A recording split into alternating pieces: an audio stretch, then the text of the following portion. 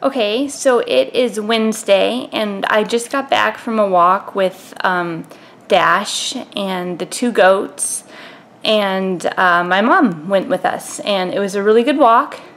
Um, I'm a bit sore. I was sore.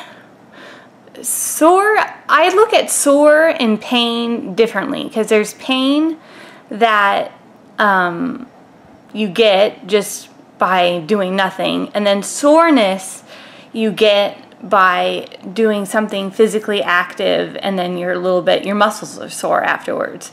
So I was a little sore today from yesterday from the walk with Krista yesterday.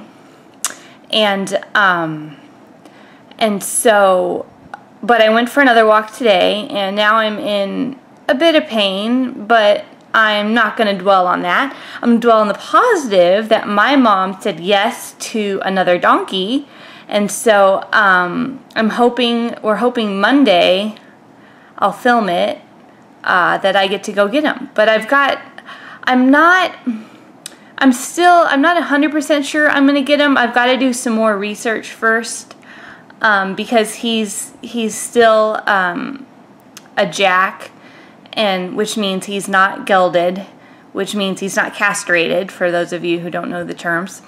Um, and so I need to look into. I mean, I would geld him, of course, but or castrate him, but um, I need to find out how much that costs and da da da da da. He hasn't had vaccines. He's never been dewormed. Uh, she's had him for seven years. Um, he was born there, and um, so yeah. So, anyways, there we go. I just wanted to give an update, and um, it won't be on this vlog on this episode, but um, but on next episode I'll be hopefully showing you guys my new donkey. I'm gonna name him Danny. His name right now is Shorty, which you know, it's it's okay. Uh, but I wanted to name him something else, so I wanted it to be a Y at the end, so it is similar because he's been called Danny for so a shorty for so long that Danny is not much different.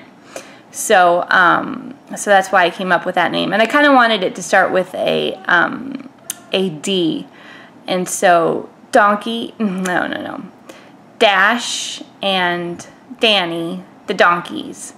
Kind of hard with all D's actually now that I say it out loud, but I like it. Danny, it is. So, okay. So, uh, next episode, look forward to seeing Danny. Hopefully.